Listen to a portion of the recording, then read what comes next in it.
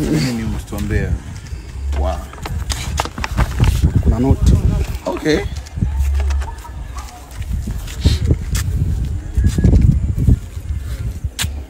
Have fun at work with love. Eve. Hmm. Son of old nose.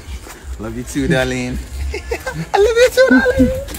Penzi jipya la msanii Harmonize na mrembo aitwaye Posh Queen linazidi kunoga kila kukicha. Sasa imekuja mara baada ya msanii Harmonize kushare video kupitia Insta story yake ikimwonyesha akiwa anapokea zawadi kutoka kwa mrembo huyo. Yaani mrembo huyo aitwaye Posh Queen alimtumia zawadi Harmonize, sasa akawa anaifungua. Harmonize alionekana kuwa ni mtu mwenye furaha kinoma noma, na alisikika akisema kwamba hakika huyo mtoto ameshaanza kuniroga, yaani akimaanisha kwamba ameshaanza kuingia penzini tena, na kama mnavyomjua Harmonize akiamua kupenda anapenda kwelikweli, yani anakuwa mjinga kabisa. Ndio maana anapokuja kuachana na mwanamke mambo yanakuwa ni mengi sana kwenye mitandao ya kijamii. Ngoja nikupe stori kamili kuhusiana na hii taarifa ambayo nimekuletea. Kabla ya yote, mimi ni Timothy Mali Mr Updates, na hii ni Mali Media kupitia YouTube ya Timothy Mali. Cha kufanya wewe ni kusubscribe, yani kubonyeza neno ambalo limeandikwa subscribe ambapo chini ya video hii hapa, lakini pia kulike, kucomment na kushare kwa watu wengi zaidi. Sasa twenzetu pamoja. Msanii Harmonize kwa sasa anaonekana kuwa ni mwenye furaha kinomanoma mara baada ya kuachana na Kajala na kukaa muda mrefu sana bila kututambulisha kwamba yupo kwenye mahusiano yoyote yale. Sasa hatimaye ameamua kutuweka wazi kwamba yupo kwenye penzi zito na mrembo aitwaye Posh Queen. Huyu ni mrembo wa Kitanzania, shepu lake ama umbo lake ni gumzo kinoma noma kwenye mitandao ya kijamii kwa sababu Mungu amemjalia na mwili fulani hivi ambao una mvuto mkubwa sana, yaani kwa mwanaume yote yule ambaye atamwangalia lazima atatamani kuwa naye kwenye mahusiano ya kimapenzi. Sasa Harmonize pia na yeye miondoko au aina ya wanawake ambao anawataka ni wale ambao wana mashepu makubwa, na Posh Queen amekidhi vigezo vyote ambavyo Harmonize anavihitaji. Kwa hiyo kwa sasa wako pamoja, japokuwa watu wengi kwenye mitandao ya kijamii wanamuona kama Posh Queen amefata pesa kwa Harmonize na sio upendo wa kweli, na kama mnavyomjua Harmonize akipenda anakuwa ni chizi kabisa, anahonga pesa nyingi, anaonga magari na vitu vingine kama hivyo. Ni kama ilivyotokea kwa mrembo Kajala, mambo yalivyokuwa, nadhani wengi mnajua. Alitoa gari mbili aina ya Range Rover akaziita Kajala 1 na Kajala 2, lakini pia alitoa pesa na vitu vingine kama hivyo. Siku ya kuja kuachana, mtifuano ulikuwa ni mkubwa kinoma noma, wakatungiana mpaka nyimbo za kuchambana, yani kudhalilishana kabisa na kutoa siri za ndani, vile ambavyo vilikuwa vikiendelea. Mambo yalikuwa ni mengi, mvutano ulikuwa ni mkubwa kinoma noma. Sasa hatimaye Harmonize ameingia kwenye mtego mwingine mpya kabisa kwa mrembo aitwaye Posh Queen, na kitu ambacho kinawaogopesha mashabiki wa Harmonize ni kwamba mrembo huyo kabla hajawa na Harmonize alishawahi kufanyiwa interview na akasema kwamba yeye hana mapenzi ya kweli na mwanaume, ila anahitaji pesa tu. Yaani mwanamume akiwa na pesa basi lazima atakuwa naye huyo mwanaume. Sasa leo hii mrembo huyo alitoa kauli ile, yupo na Harmonize na Harmonize ametangaza kwamba tayari ameshaingia in deep,